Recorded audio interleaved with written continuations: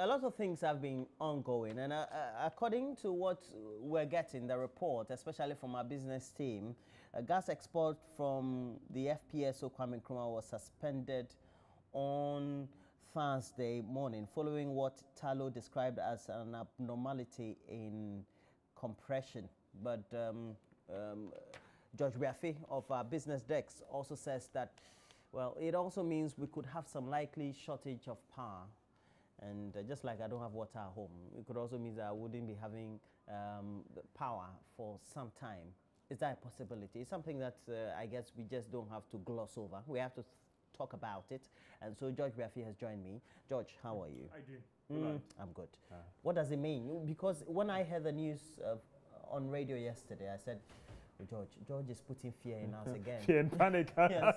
but, but, but really, um, is it a serious situation or is it just a routine well, situation? It, it could be a, situ a, serious situation if they don't have the necessary backups in place. But just a quick background. I mean, we used to depend heavily on crude uh, to power our plants. But when prices were hitting the roof, they had to look at alternatives to power our plants. And gas was obviously cheaper. So we were doing the West African gas pipeline. Then the Jubilee oil field came on board. Then we had the Atuabo gas infrastructure project. So it was time for us to celebrate. Hooray. So we started trying to uh, work on some of our generating plants to do both crude and then gas as well, while some are also just gas totally. Okay. So the Ameri plant, for instance, and those plants in the Aboadze enclave decided to uh, work on the systems to take gas from the Jubilee oil field.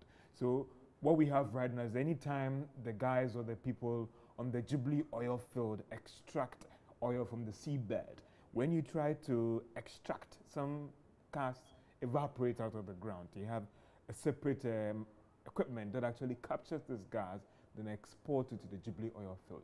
So anytime there's a problem with production on the Jubilee field, then it means that they cannot export the gas. When you also look at the equipment at Atuabo Gas Processing Plant, they don't have facilities to store the gas. So as and when the gas are exported from the Jubilee field to their Atuabo processing plant. They also onward export to those uh, plants in their Atuabo gas enclave. So when that thing happened on Wednesday night, actually, it meant that supply or pressure actually lowered. So for those plants that depend heavily on gas from Atuabo, it means that the pressure is dropping today, it will go down today, and Tullow is saying that it will take them about 36 hours to try and fix the situation. That is just one part of it.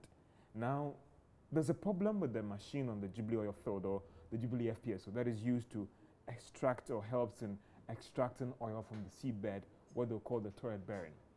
They started working on the last year, and as we understand for this year, there might be some shutdowns again to try and work on that equipment. So basically, whilst they're working on that equipment, we're going to have some shutdowns from February to June what is being done from February 3 that they have announced to be just trying to uh, lay some pipes to connect to the TEN oil field, another oil area from the Jubilee field, that is the John, uh, the, uh, John Evans Atta Mills FPSO. So what they are trying to do right now is to try and lay pipes from the Atuabo area to connect to the TEN field. So whilst they work on the Jubilee field, they can still take gas from the TEN field that will start maybe from March or even May. So there are two separate things that are happening. Hmm. That if uh, managers do not have the necessary backups in place, hmm. we could be getting to the era of doom so. Well, true. Um, we know that at the time when we are flaring gas, it was uh, just waste. Now we're hmm. trying to make sure that we put the gas into good use, and that's why we have all these plants around. And, and Roland, being on the, the Jubilee FPS as well as the uh, tunnels as well, these operators are, when it comes to safety procedures, they wouldn't risk anything. So even though some will say that, why don't you do the two at the same time? Well, let's hold production and then let's try and work on this thing. So the logical question an ordinary Ghanaian will ask is, what is the backup? What is the alternative? Well, in the past, we've had the managers of the space assuring us that everything is under control. Um, we don't know whether that is still the situation as we speak right now because then you should have reserves or crude there to quickly switch. And even with the problems with these machines is that even trying to switch itself, you need to break or stop uh, generating power as well in trying to do the switch. So even if they are showing us that they wouldn't be doing so, there might be some blips in supply to some parts of the country. So ultimately, it, it means that we're going to have some shortages in supply. Possibly, unless we get a different assurance from these managers that we have X, Y, Z. But don't forget that this was a planned shutdown. So it wasn't one, I mean, what happened just Wednesday night was an accident. That would be a problem. But Tullow had communicated to all the partners that this thing would happen. So we also believe that the managers of the generating plants, VRA, the T3, the T2, were all putting some measures in place, whether they're going to bring in additional crude and store. So when this thing start happening, they can switch to gas. But the problem is even about the switch itself is also not good because you have to stop the machine, do the change. Today you do this, and whether we might have to even get machines that are exclusively for gas and exclusively for crude.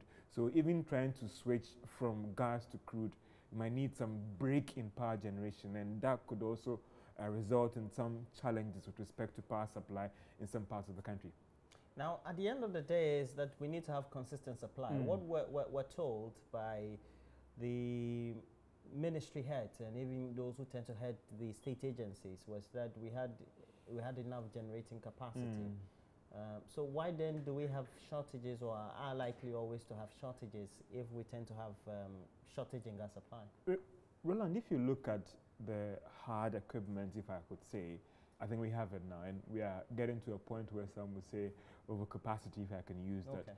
The So problem, the is problem is with the fuel to power these plants, and Oh. they don't come cheap, Roland. gas Whether you is want cheaper to relatively. relatively So when we have problems, we have to depend on crude or which is expensive. which, you know, the, the, it's, it's, it's been argued that Roland, the problem with the power sector is funding, is capital It's a money issue. It's a money issue. And don't forget that there are other competing sectors that whoever is managing the economy has to deal with. Are you going to pump everything to the power sector? What about the other sectors as well? So you should have the required money in place that at any point in time you can step in to address the problem. So are you going to use all the money to buy crude and store them for this eventuality or what are you going to do? So that is where in terms of hard equipment, we have them in place, but do we have the fuel? Do you have enough money to buy crude is now still trading at around 50 or 60 to buy them in volumes to store them for this eventuality or what? So as for the equipment, we have them, but the problem has, has to do with getting the fuel to store. Even with the lean gas, they have something where they have vessels where you can actually store them on the sea, and when you need them, you pipe them through your machines. So it's, that's where the problem is.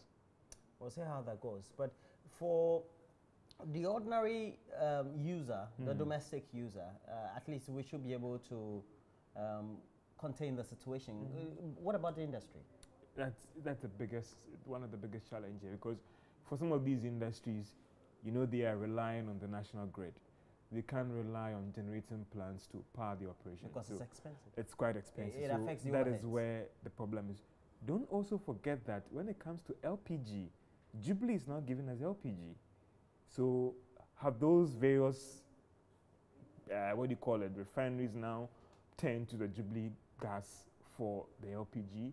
It means that there could also be problems with LPG for domestic consumers as well. So uh, we might have to engage those who are managing uh, the power sector to see the alternative plans for us as we speak right now. Not only power for domestic consumers and industries, but even domestic consumers of LPG could be having some problems. What, what is the view of uh, civil society or, or so-called think tanks and the Mhm. experts on, on some of these things? I think it's about this energy sector debt and how we can pay them quickly to ensure that these uh, power sectors and power companies can get the necessary money to finance these things. Because previously, you remember the banks were saying that, listen, you have too much debts on your books, Mhm, we mm. won't give you money. Now government has started paying, or government started paying these energy sector debts, and there's a hope that the books could be a little bit clean so that they can lend it to them or grant them those loans so they can go out there and basically uh, bring in the necessary fuel uh, to power these plants. Well, we hope that uh, we have an insight on this and we can get some news from Tullow by the close of the day. But something that we didn't plan for, Mm. uh, we know that during the week the, there were some increment in, um, is it fuel? Yeah, At the pumps? marginal, yeah. Mm, marginal, you call them Marginal. marginal. If you look at just for the second window, uh, between uh, 2 to about uh, 4%. Uh, and if you look at a gallon, you are getting a gallon of petrol for about uh, 18 Ghana cedis. Now you're doing about uh, 20 or even 19.5. Depends Uh, that is why I was talking about marginal. But Mm. uh, for someone like you who is One very cedi- rich, uh, has, a lot, has a lot of money. You and I, we don't, we don't have money, so don't uh, even say well. uh, you I'm talking about you. Uh, maybe do- it we it do won't be a problem at all uh, in we- trying to we- fill your both of us do relatively almost around the same type of work. But at the end of the day, the ordinary consumer will, will be really informed this because if it's a, a markup of uh, from the previous pricing Mm. of just uh, those percentage points, it's it's really a, dent on their budget at the end. Basically, and don't forget that nobody will walk to the pumps to buy a liter of petrol. They buy in gallons. So imagine there's an increase of uh, even one pesewa per liter and you're buying five liters or 4.5. You, loo- you look at the impact on your budget as well. So obviously, it's going to affect your budget. It's going to impact on the cost of living. At the end of the day, if I'm a trader, I have not for the Christmas. Okay. I'm going to pass on that cost to you. If transport operators, and if you look at the cumulative increase from January 1 to date, we've done about 12% or even 13 or 14%. And for these transport operators, their argument was that if it goes beyond 5%, that could trigger an increment in transport fares. So uh, if these operators are saying that we cannot absorb these hikes, someone has to take care of that cost. It will pass it on to you. And you know how fuel and transport fares are very critical in the body economy and when it comes to cost of living as well. For businesses also, their cost of production will also go up. Somebody has to take care of that cost and has to be you anytime you walk to that shop uh, to buy that good or when that service is rendered to you.